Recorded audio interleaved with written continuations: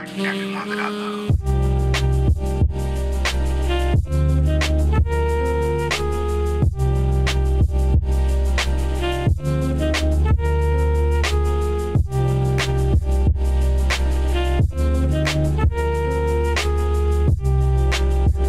guys, what is going on? It's Jack and here from Nothing But Tech. Hope you guys are all doing well. Today's video is a special one.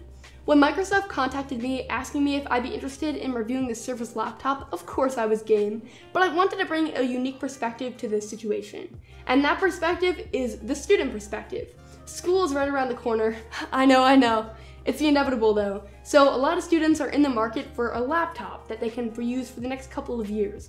For that reason, I think it's a perfect time that Microsoft came out with this laptop because a lot of students are in the market for it, and I think that this one is an incredible option.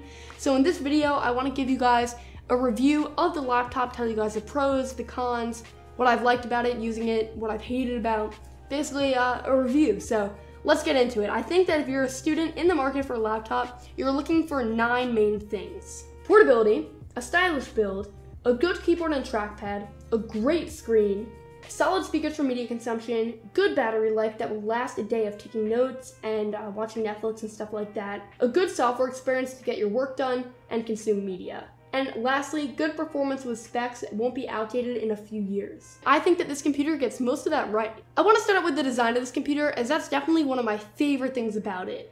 When I met up with Microsoft to get this computer, they emphasized how much time went into getting this design perfect. From finding the right texture of the aluminum to the perfect material for the inside, they wanted everything to look and feel great. And they've really succeeded. From the feeling of the aluminum on the outside to the seamless underneath, with zero screws present, the Surface laptop looks great. I'm in love with this cobalt blue color and the etched out Surface logo on the top looks very classy. All the colors are great though. They all pop while still being understated at the same time, if that makes sense. And I feel like this computer could have a really big audience. You could see it in a first class seat on an airplane or in a dorm room. I feel like this appeals to many, many different people. When you pop open the perfectly weighted hinge with one hand, yes, you'll be greeted with something extremely unique to Microsoft an Alcantara interior. Yeah, you heard that right. The stuff that's used on luxury cars. It's no joke. I'm a little bit worried about how it's gonna wear over time though, as I know college kids are gonna be writing papers late night while eating food, but I think if you're careful and you wash it often, you'll be fine. Yeah, so you heard that right. Uh, you can wash the Microsoft Surface laptop because it's water resistant, which is a huge win. And it's really great because spills do happen, especially if you're not the most careful or you have irresponsible friends. Finishing off the aesthetics of this computer, I do want to mention one last time the attention to detail.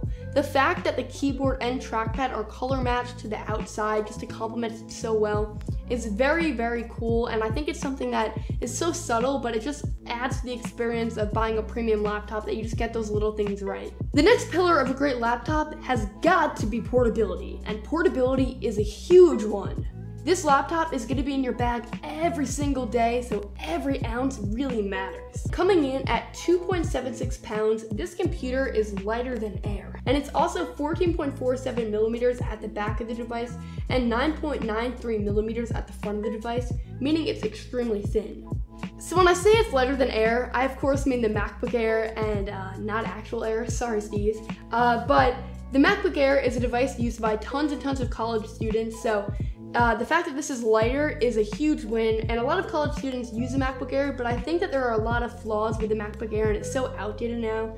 Starting with the huge bezel surrounding the screen, and then the actual screen, it's so low resolution, and then the specs just backing the whole computer. Everything is so outdated because Apple hasn't really updated that line in a few years. So I think that this computer is a really great competitor to the MacBook Air, especially since it's lighter, and it just looks a hell of a lot more stylish. A good keyboard and trackpad is also essential for a device like this as those are two of the main interaction points. Luckily, they are both great. The keys have a really large 1.5 millimeter travel and they're also really quiet. The keys are also very tactile and they're in a very good layout. The arrow keys will take a second to get used to though because they're in a mushed together orientation. Everything else about the keyboard is great though. The backlighting helps tremendously in the dark, and I like the fact that it turns off when it's not in use to preserve battery life. The trackpad is another hit out of the park. It is a precision trackpad that is 105 millimeters by 70 millimeters, and it's made out of glass. It is easy to scroll on, and the touch to click works perfectly. It is a typical trackpad in the sense that you will get better clicks towards the bottom due to the diving board mechanism, but the click it produces feels and sounds great. My only feedback to Microsoft would be to make the trackpad a little bit longer, but that's really a gripe as the trackpad is really great and I haven't actually found a need for it to be any larger in typical use. It's only when I'm video editing or something, which isn't what the typical person is going to be doing on this computer anyways. The screen is also phenomenal. I'm running out of adjectives to describe how great this device is. It is a 13.5 inch PixelSense display with 3.4 million pixels, a resolution of 2256 by 1504, and 201 pixels per inch.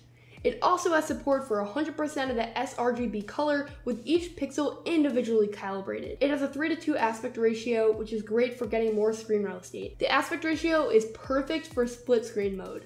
When you have a document as one of the sides, it will be formatted the way it would actually show up on paper, which is super underrated. I can run a list of specs next to my script to go back to when I need them without compromising how the document looks. And don't worry, your Netflix binge watching won't suffer as the screen looks great for that too. And the downloadable Netflix app lets you download shows and movies for offline use, which is something that the web version actually can't do. So the screen is also touch enabled, which is great, but it does not articulate all the way down to lay flat, so it won't be great for handwritten notes. You can touch on the screen and stuff like that without uh, it moving, but as soon as you start writing on it, the hinge will move a little bit. So if you're looking for something like that, where you can take a lot of handwritten notes and draw and stuff like that, you're probably better off going to the Surface Pro lineup. And I'm very interested in testing out a Surface Pro computer. So if you're interested in seeing a video on that, definitely let me know by commenting down below and leaving a like on this one.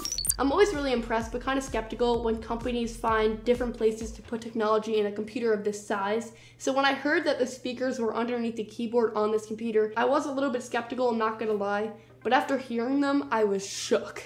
They're pretty insane. On the front, it has an iPhone 8 Vector with the new vertical cameras. It has an iPhone on the side, and then on the back, it has uh, some information about the device and the translation is okay. They're loud, clear, punchy, and any other word to describe a great sounding pair of speakers, especially for the fact that they're built into this computer in this form factor. It's mind boggling. I'm being serious. Like, you have to go into a store to really understand how good it is. But because they're so good, I actually haven't been plugging in my headphones as much. So I'm sorry, QC35s. But uh, these computer speakers have actually really impressed me. I would say that they're a little bit better than uh, the 12 inch MacBooks, and the 12 inch MacBook speakers are really, really good. Okay, so going on a bit of a side note, I want to discuss the ports on this computer, or the lack thereof. I would argue that the biggest disappointment with this computer is the port situation. The fact that it packs so few ports and then the ports that it does pack are old technology. It has one full-size USB 3.0 port, one mini display port, one headphone jack, and a Surface Connect port for power and docking. On another side note, I love that port. It's so useful. If anyone ever walks into your cable, uh, you have a little kid or an irresponsible friend again, they walk into it, you're gonna be fine. Uh, it will just disconnect from the computer and you'll be good to go. The computer's not going to fall on the floor. A lot of computers are moving towards USB Type-C, which is great. It's the future. I'll talk more about that in a second.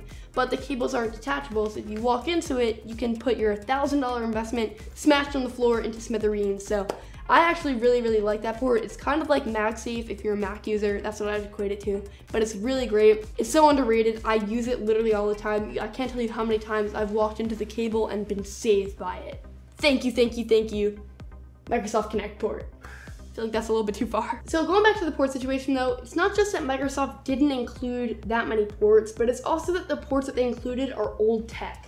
The techie in me really, really, really wanted a USB Type-C port, and uh, the video editor in me really wanted an SD card slot, but the student in me knows that most students are only going to be plugging in their charging cable for their phone, um, a flash drive every once in a while, and they probably won't even notice how few ports there are. So uh, the student perspective wouldn't really care about it, but the techie perspective, I would have liked to see Microsoft do better, and I'm hoping in the next generation that there are more ports and the ports are more recent. Okay, but getting back into the pillars, let's discuss software as that greatly affects battery life. Okay, so the software that this computer runs natively is Windows 10S, which is basically a slightly toned down version of Windows 10 in the sense that you can only download applications from the Windows Store and you can't download anything from online. There are so many viruses that plague computers, and students often aren't considering if a download will give them a virus. They just click the download without thinking about it. So this will definitely help uh, these computers from getting viruses, and it also will help battery life. More on that later. And before I get the comments about Windows 10s being stupid, just hear me out here, and then I'll talk about the disadvantages, but just hear me out about some of the advantages of it and uh, why I think it's actually kind of good for students. So let's start with the thing that probably has most people heated, the fact that you can only download applications from the store. And uh, my Microsoft rep told me that they're looking to constantly add new applications to the store. I mean, they already added Spotify, Instagram, Twitter, Facebook, and a bunch of other things are coming. So I don't doubt that they'll keep adding applications to the store. And only downloading applications from the store ensures that you're not going to get a virus, which is a huge pro because so many laptops are plagued with viruses. If you do decide to stick with Windows 10s, you will be locked into Edge. And before you say anything, I know, I know, it used to suck, but hear me out. There's actually a few features that I like about it. And even though I immensely prefer Firefox over it, I still really liked a few features about it after using it over these past few weeks, and I kind of hope that those features are brought over to Firefox because they're going to be a little bit hard to live without. Let's say that you're traveling, so you go into a rabbit hole of finding flights, hotels, uh, restaurant reviews, open table stuff, you just get tons and tons of tabs open. And then you decide that you want to look up uh, a Canon 70D, but you don't want to lose all those tabs. Well, Windows Edge has something for you. You just click in the left corner it will put all the tabs away, save them for later. You can search whatever you want, and then you can come back to them whenever. And that's actually super cool. Uh, I was planning my trip to California. I'll link my vlog down below. I met some really cool people. But I was planning my trip to California, uh, and I brought up a bunch of stuff. And then uh, I decided that I wanted to look up uh, a Red Raven, even though only in my dreams.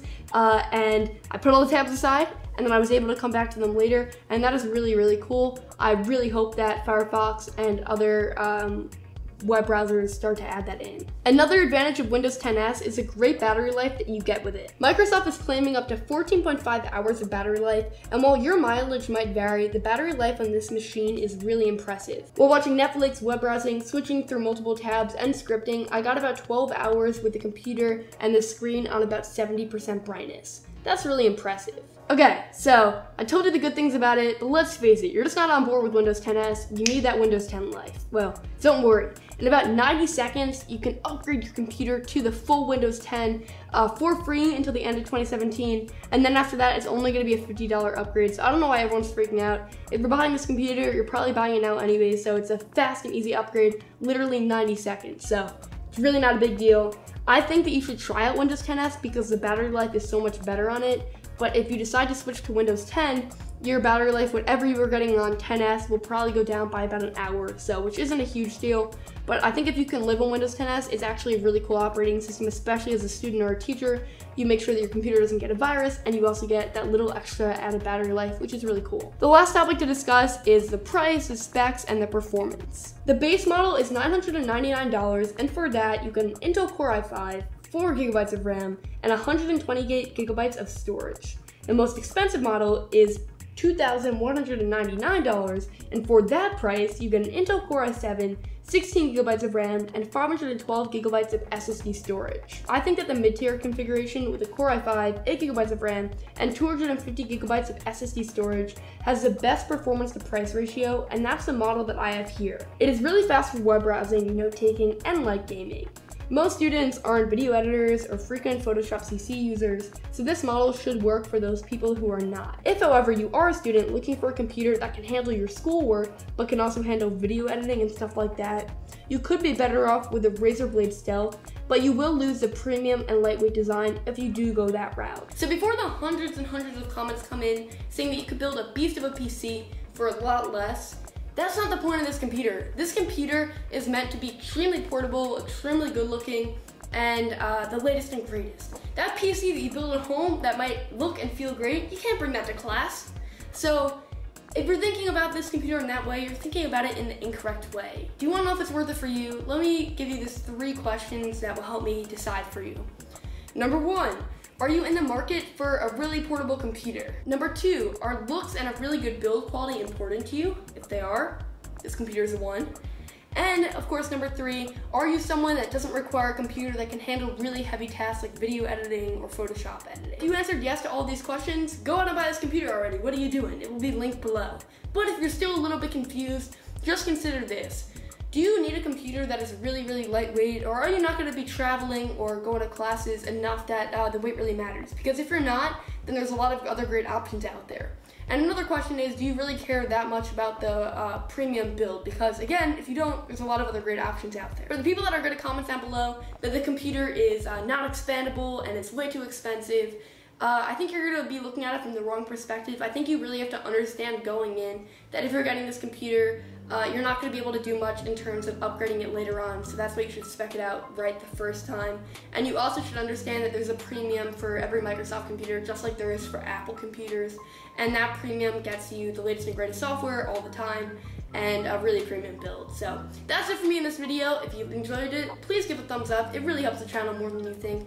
Be sure to subscribe down below if uh, you like this content and you want to see more because there's a lot more coming. Click the subscribe button right here, watch my other content here, and I'll catch you guys all so much in the next video. This set is still a work in progress. It should be a lot better next time. Thank you guys all so much for watching. Bye.